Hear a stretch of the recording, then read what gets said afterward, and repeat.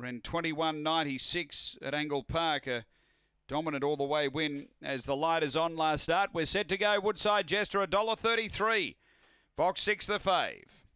Racing and Woodside Jester sets with the musters quickly and takes a lead soon after. Woodside Jester away by two over Sleepwalk Dance, Regazzoni, uh, then Roscommon Flyer and Mo- Motown Kenny, but the leader Woodside Jester away by four over Regazzoni and then came Sleepwalk Dance, but on the turn it's all Woodside Jester, clear over Regazzoni and Woodside Jester beats Regazzoni, third home Sleepwalk Dance, then Roscommon Flyer and Motown Kenny. The time here is around 22 and 40 after the running of race number 10 and uh, the time here 22 and 40 so just a couple of lengths outside the record. Numbers are 6 8 2